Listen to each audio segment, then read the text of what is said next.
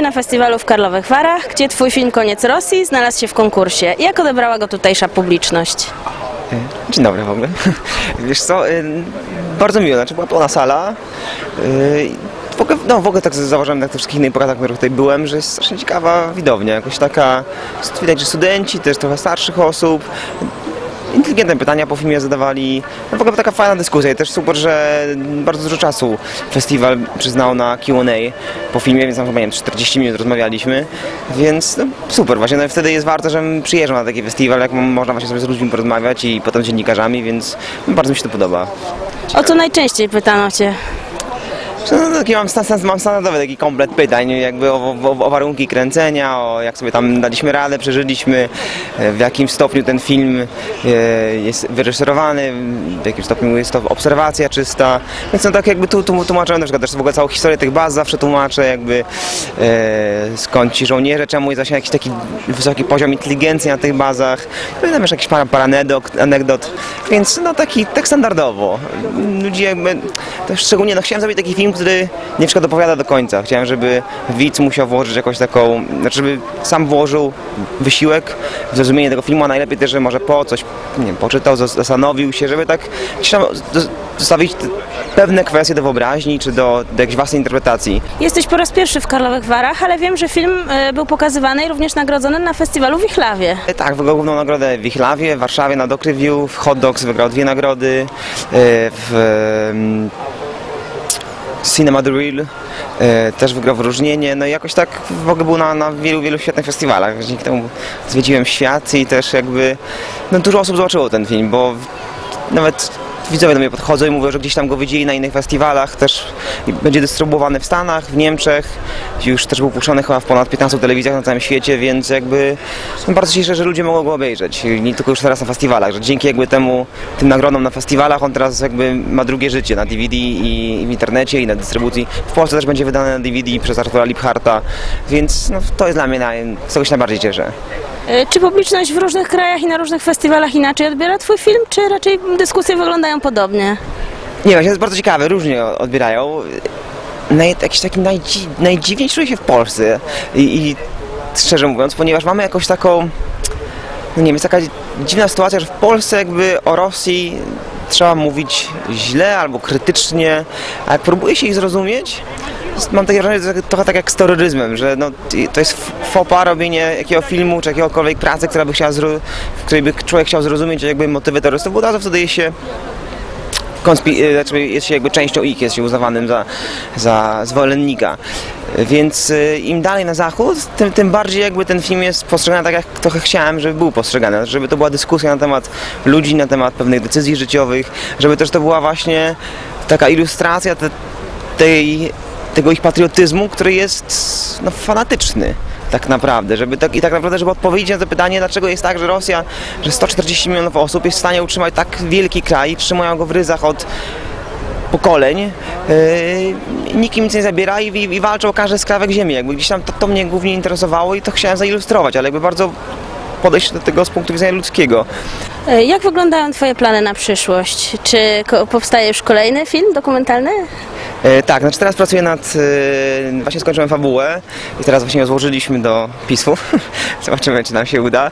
To jest e, tam Marcin Kaszaka będzie robił zdjęcia, Andrzej Chyra będzie grał jedną z głównych ról.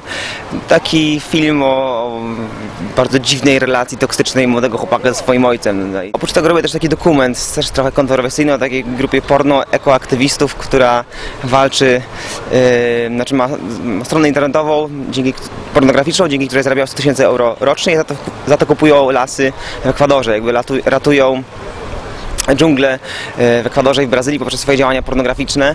A oprócz tego jest strasznie dziwne połączenie właśnie kulturowe, już takie taki dla mnie taki znak trochę naszych czasów, że już wszystko można, nie ma granic, yy, w ogóle już też nie wiadomo, czy filantropia w ogóle ma jakiś sens, jak to wszystko działa. No i tak chciałem na ten film bardzo spojrzeć szeroko, jakby z punktu widzenia socjologiczno-filantropicznego, żeby jakby udokumentować jakiś taki yy, zeitgeist może jakby yy, ten dziwny klimat naszych czasów, w którym, w którym ta- tacy ludzie właśnie tak naprawdę gdzieś pomagają. Czy któraś z nagród otrzymanych przez koniec Rosji miała dla ciebie szczególne znaczenie?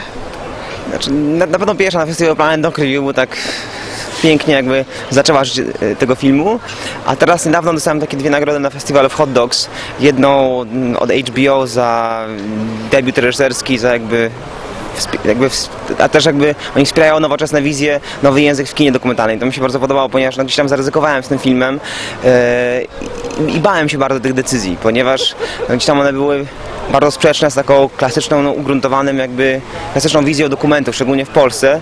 Więc bardzo się cieszę, że ta nagroda jakby no, dała mi do zrozumienia, że gdzieś tam jest okej, że mogę dalej robić to, co, to, to, co myślę. Oprócz tego też na Hot Dogs wygrałem taką nagrodę reżyserów, że wszyscy reżyserzy, którzy byli w konkursie, głosowali na swój najlepszy film. E, ja wygrałem jakby, więc no, su, su, super honor, że jakby znajomi reżyserzy, znaczy nie znajomi, ale reżyserzy z całego świata wybrali mój film jako, jako najlepszy, także to taka strasznie miła nagroda i dzięki temu wygrałem dożywotni wstęp na Hot Dogs e, ze wszystkimi swoimi moimi przyszłymi filmami i też na forum, na pitching, więc mogę do końca życia jeździć na Hot Dogs. Wiem też, że film był pokazywany na festiwalu True False. Tak, no, True, Falls nie ma nagród, bo True Falls jest y, takim festiwalem przeglądowym. A True Falls jest tak, strasznie odjechanym festiwalem, bardzo śmiesznym. W ogóle całe miasteczko malutkie, Missouri y, w stanie y, Columbia.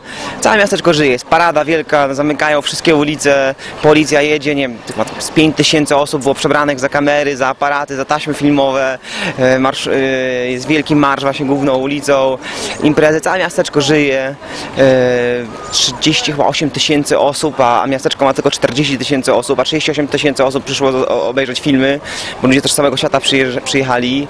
No i to takie strasznie właśnie dziwne, przepiękne miejsce, jak, jak w ogóle z jakiejś bajki, z jakiegoś snu, e, gdzie wszyscy rozmawiają już żyją dokumentem, no i też ci ludzie to robią z potworną klasą, że naprawdę dbają o te filmy, pytania są, ludzie, którzy prowadzą dyskusje, to są najlepsi dziennikarze e, z całego świata, którzy prowadzą dyskusje o filmach, więc e, no tak naprawdę oni dbają o to, żeby dokument był na najwyższym poziomie, żeby to był taki dokument nie reportażowy, tylko żeby to był taki właśnie dokument zbliżony, mm, no taki bardziej, filmowy, artystyczny, poetycki, który, no, który jeszcze bardziej nas przemawia. Po tym festiwalu ukazało się właśnie dużo recenzji yy, i, i też polecano między innymi na IndieWire w twój film. Tak, tak, tak, cieszę się. No też w Variety się pojawiła recenzja w Washington Post. Tak, bo właśnie na tym festiwalu jakoś ty, no, przyjeżdża mnóstwo po prostu krytyków. Jakby nie, nie, nie, nie ma nagród, ale, ale jakby to jest taki festiwal, w którym warto być, bo tam, tam, tam są wszyscy jakby i, i potem można z nimi porozmawiać, dziennikarze przychodzą, jakby jest taki spokojny czas, że nie ma nic innego, nie ma właśnie industry, nie ma nagród, nie ma, nie ma marketu, więc nikt tam nie łazi, nie sprzedaje filmów, nie załatwia pieniędzy na kolejne, tylko tak naprawdę się dyskutuje o tym, co się zrobiło, więc jest tu i teraz, dużo filmów można obejrzeć i, i właśnie podyskutować z bardzo ciekawymi osobami. Więc tak, no świetny festiwal, no, jedna z najfajniejszych doświadczeń festiwalowych w moim życiu. Super. Dziękuję. Dziękuję.